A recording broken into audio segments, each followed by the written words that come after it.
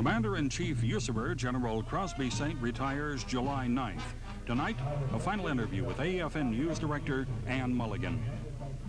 General Saint, you've been commander of U.S. Army Europe probably during one of the most dramatic and dynamic periods since the end of World War II.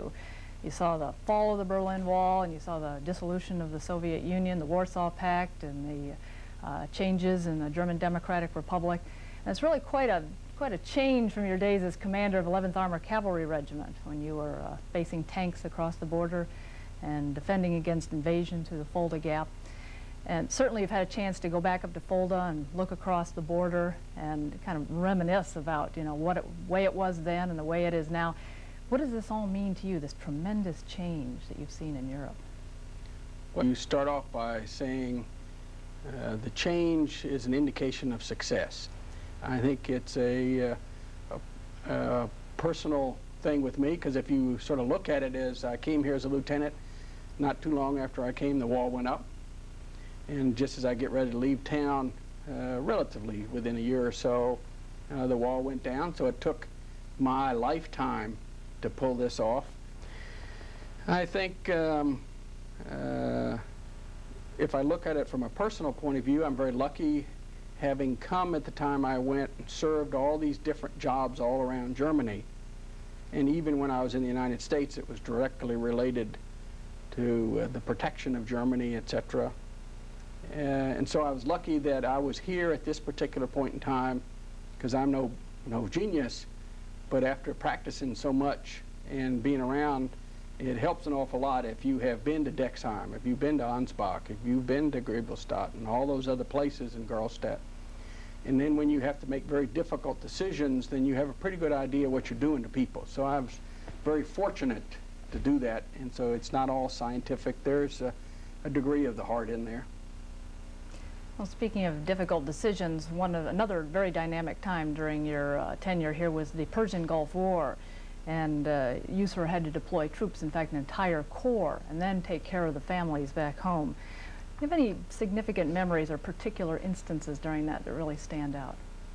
Oh, yeah. I think uh, the conversations that led up to the actual, okay, I want you to deploy a corps, I think are very interesting in the in their insights into a real way an organization ought to work. and that General Vuono called up and said, uh, we might need some forces out of Germany. This is before the actual fighting, etc. And I said, I feel very comfortable that our uh, soldiers are well trained and they have the leadership. And then he said, could you send a corps? And I said, yeah, I think we could probably send a corps. Well, the trick is, can you send it in 60 days? Uh, Many of the people say this was the largest movement since World War II, but again, being a little bit prejudiced, I'd say that's true. World War II was larger, but not in a short period of time. So when you move 77,000 people, 600 trains, 400 airplanes, and you go through all those statistics, uh, that is a significant feat that the leadership down in the pit, that's who did it. You know, make no mistake about it it is a, uh, it brings tears to your eyes when you went to the railhead, to the airhead, and you watched the soldiers go about their business in such a professional fashion. Uh, it made you feel good. One of your initiatives was to improve the conditions under which single soldiers live. Uh, they're now allowed to uh, decorate their own rooms, to, to have visitors, uh, an awful lot more personal freedom. Now, this is not an Army-wide policy. And while it's very popular over here, uh, apparently you've gotten some flack from some circles back in the States. Can, can you talk a little bit about that? Well, I think there's a lot of misconceptions about it. There are people who talk about, gee, isn't that turning the uh, institution over to the inmates? And I said, wait a minute, if you think of your soldiers as inmates in an institution, then I think you've got a problem before we even go any farther. Secondly, I think you need to go back and say, uh, what's the purpose of the drill? The purpose of the drill was is someone who is not married entitled to the same treatment as somebody who is married? Do they, are they entitled to be treated as an adult? Uh, do you expect them to be responsible in their personal life and in their professional life? And if you say, whether you're married or not, I still should hold you to the same standard of conduct, then it doesn't make sense what we were doing before. So it is controversial. I think it's misunderstood by some old goats. Uh, but there is no doubt in my mind it's the right way to go. And I think you, there, that's right. There has been some concern in, in other quarters. Some of them talk to me about it, some of them don't. But there isn't anybody that said it isn't a good idea. And there are a lot of them saying, okay, I can't do it all at once, but I think you're right.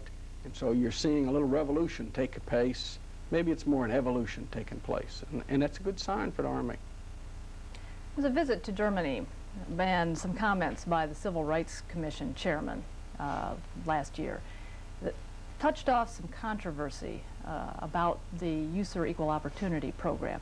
Since then, there have been some visits from Washington, some fact-finding studies. Uh, where does it stand now? What were the findings about USAREUR's equal opportunity? Well, position? you know, equal opportunity is a difficult thing because it's very difficult to measure. And there were, there still are people who are not happy with decisions that were made about their fate, their selection or non-selection, and they think, uh, I'm not sure all of them really believe it, but they, uh, they ascribe to their lack of selection in many cases or their punitive action based on their race and not on their performance.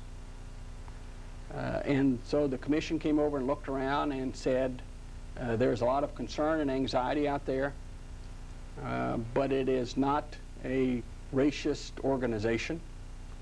So the bottom line is lots of anxiety, uh, but it's the drawdown of the Army and what's going to happen to me, which was causing a lot of it, and saying, gee whiz, uh, maybe they're not going to keep me or I'm not going to get a fair shake because of my race. Uh, there's no doubt that there are people around who do not act properly, and when we find them, we're usually pretty swift about it. I had to take a look at some of our educational courses to make sure that the leadership is as sensitive as they ought to be. Uh, and since then, uh, we could find no evidence of those 700 or 400 complaints. I keep asking for them, and I still haven't seen them. Uh, but I keep taking a positive attitude. If you uh, make an allegement that you're being mistreated, then I will look into it, or I'll have somebody look into it and come back to me. Um, and so I guess it was a tempest in a teapot, but probably was a good thing because it increased our sensitivity to the issue and we did have to do some fine tuning. But I'm glad I wasn't just living in an ivory tower. If you look back over your years, what stands out? What are you proudest of? What was your best accomplishment? I would say what I'm proudest about is uh, what the soldiers have done and what the families have done. And I mentioned it before, but I think the, not only their move to the desert, but the way they conducted themselves in the desert and the way they fought, if you look at what happened, there are a lot of people did some great things, uh, but it's that old saying that was going around here about the Iraqis saying the guys in the in the tan are tough, but look out for the ones in green because they came out of Europe, and uh, that proved to be correct. And if you go look at the battle history of the First Armored and the Third Armored and the Second Cav, when they came up on the enemy, it was like a firestorm. I mean, it, they just wiped them off the map. Could have gone differently, but because of the troops, it didn't. The way the families hung together uh, was a significant event. The way the soldiers who got left behind, like me, the way they did. A lot of people don't know we moved almost 200,000 tons of ammunition in addition to the Corps. The stuff we moved 600 tanks in addition to the Corps it required people to work on holidays and weekends, etc. And I don't think the people that did those things got the recognition in, the United States uh, that I, as a prejudiced individual and a proud uh, commander, think they should have. But then again, there are lots of troops that do good work that don't get the recognition maybe that they should have. Okay, thank you very much, General Saint, for sharing your experiences and thoughts with us on. It's been my pleasure to uh, serve in USAREUR uh, with you personally over a long period of time, if you recall back into the 70s. Uh, and it's been my pleasure to be associated with the great soldiers and families.